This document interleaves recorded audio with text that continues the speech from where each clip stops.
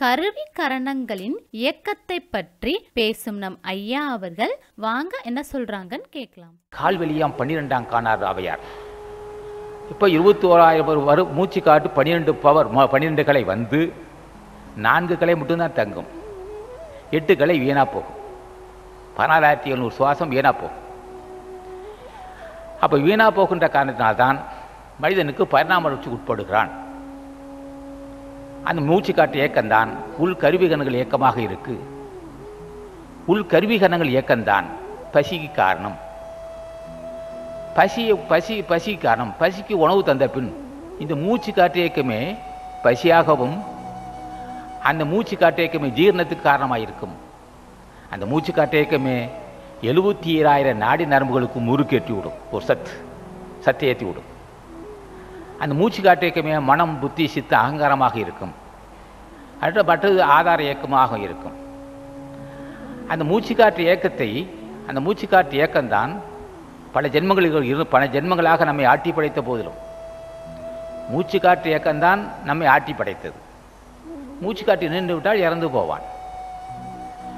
அப்போ உடல் வளர்ச்சிக்கு காரணமாக இருக்க அந்த மூச்சு காற்று உயிர் வளர்ச்சிக்காகவும் காரணமாக இருக்கும் இப்போது உயிரும் உடம்பும் இயங்குவதற்கு காரணமான இந்த மூச்சு காற்று ஞானத்துக்கு காரணம் என்று அறிய நமக்கு அறிவில்லை. நமக்கு நல்வினை இல்லை. இந்த ஜென்மத்தில் அந்த வாய்ப்பு கிடைத்திருக்கு. அந்த மூச்சு காற்றை பற்றி அறிந்து கொண்டோம். அது இத்தனை சுவாசம் என்று அறிந்திருக்கிறார்கள். அந்த மூச்சு காற்றை அதோடு பழகினால் எடைகளை பெண்களை பற்றி அறியலாம். அதோடு பழகி பழகி ஞானிகள் துணை கொண்டு பழகினால் அவர் என்ன செய்வார்கள் ஞானிகள்? ஆசான் உடம்பிலே சார்ந்திருந்து புண்ணியம் செய்த மக்களுக்கும் பூஜை செய்த மக்களுக்கும்.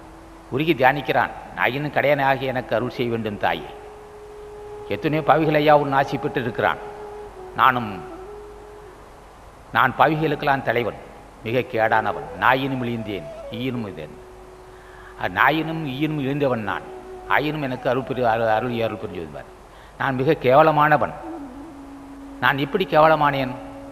பல ஜென்மங்கள் எடுத்து காமுகனாகவும் பொருள்வெறியனாகவும் ஜாதிவெறியனாகவும் மிக மிகக்குரிய பெரிய பழிவாங்கும் உணர்ச்சியுடவனாக இருந்து பாவத்தை மூட்டை கட்டியிருக்கிறேன். அந்த பாவம் எனக்கு உறுதிநிலை தராது இருக்கிறது அந்த பாவம் தான் எனக்கு உன் திருவடியை பற்ற முடியாது போய்விட்டது.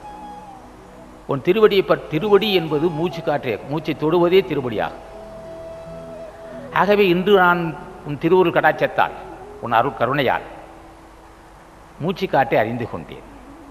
நீங்கள் அத்துணை பேரும் ஞானிகளும் மூச்சு காட்டை அறிந்து அதோடு பழகி அதோடைய இயக்கத்தை அறிந்து ஆசானது அருளுரைகளை தொடர்ந்து கேட்க அரங்கர் டிவிக்கு லைக் பண்ணுங்க சப்ஸ்கிரைப் பண்ணுங்க மறக்காம பெல் பட்டனையும் கிளிக் பண்ணுங்க.